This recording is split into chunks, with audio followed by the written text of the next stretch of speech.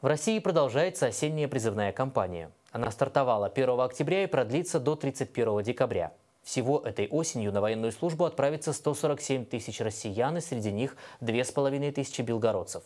Гордостью, без сомнений, станут те, кто будет проходить службу в знаменитом лейб-гвардии Семеновском полку в Москве, а значит участвовать в парадах, заступать в почетный караул, встречающий лидеров иностранных государств.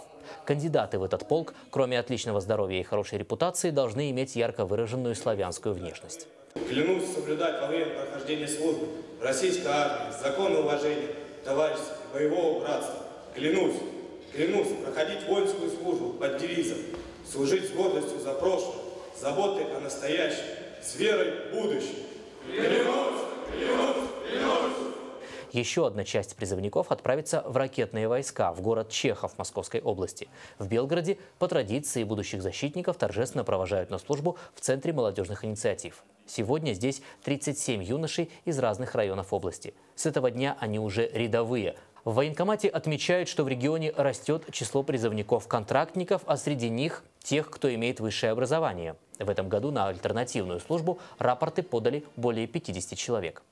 Изменились немножко требования к бойцам. Все больше требуется э, в армию солдат э, с законченным образованием, э, с сильной мотивацией. И здесь нужно отдать должное, что работа военно-патриотических клубов Белгородской области позволяет нам достичь необходимых показателей для того, чтобы мальчики шли в армию, имея осознанный выбор, осознанное желание и высокое понимание, что это высокая честь и ответственность защита нашего Отечества.